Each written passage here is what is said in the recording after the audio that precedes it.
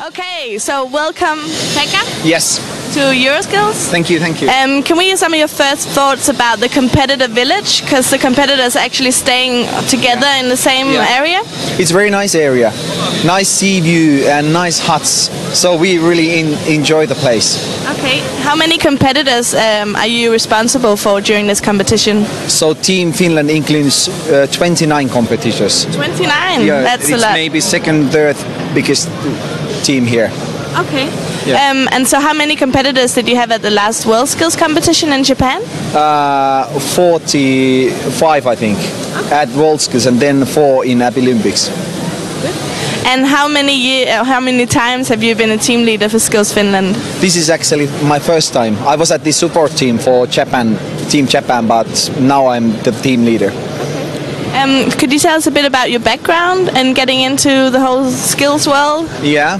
So uh, I have been working for Skills Finland a few years, like three years now, and my main responsibility is uh, to coordinate uh, or manage the uh, training uh, network what we have in Finland. So that's my main job concerning this, and then I do of course some other things as well, but but that's the main thing. And um, what are the things that you look most forward to during the competition? Uh, you mean in this competition or con- well let's say that the first first day will be more check up that every competitor has like uh, food at the right place or it's in good condition and the day has been nice and they feel well and so on and so on so we have a meeting during the evening while we are at the campus area and then I will check out if every, everything is good and, and that's it basically then if some things uh, needs to be solved, then we will start to do work for that. Um, do you have a favorite World Skills memory?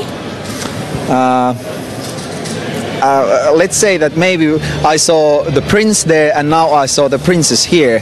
So maybe those could be. Okay. well, thank you very much, Pekka. have a have a beautiful competition. Have fun, Thank you. and good luck to your team. Thank you. Thank you.